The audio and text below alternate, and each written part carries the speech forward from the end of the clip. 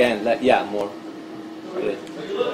It was such a lovely experience 25 years ago that actually we've talked over the years to try to, how can we work together again? It was a wonderful thing for me. Uh, working with uh, an artist like Barbra is uh, once in a lifetime, you know, and I thought it was once in a lifetime.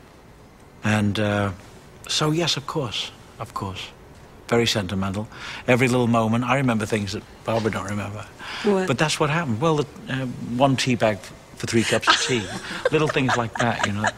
No, Always but stick two, with you. two bags Sorry, of tea. okay, I use, I'm, you know, my roots are from Brooklyn. We came from a poor family. You Oh, took yeah, but you one know. tea bag, you don't throw it out.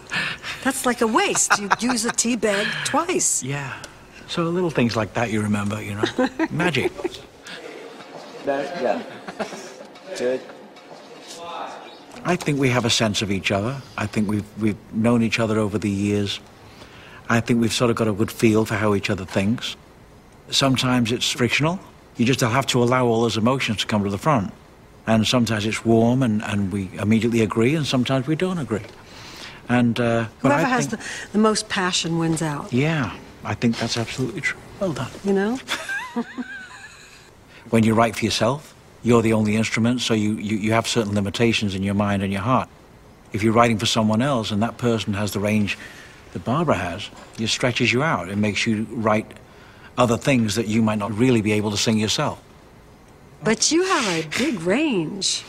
You have huge well, range. yeah, but, but, but it's, not, it's not your range. It's different altogether. I can go from one real voice to falsetto and stuff like that, but that's different.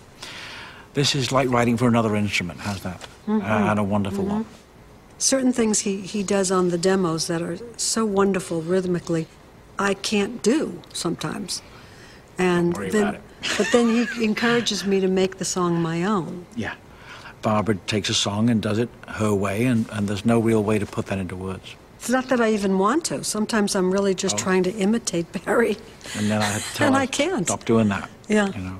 You know, because I like what he does, but I can't quite do it. I just don't feel it that But way. but you- so it you comes out, yeah, Right. Yeah, Yeah. unnaturally, and so Instinctive. yeah, better be truer to me. Mhm, I True to what you do. but, Yeah. That sensibility affects Mm. all of us. You know, there are.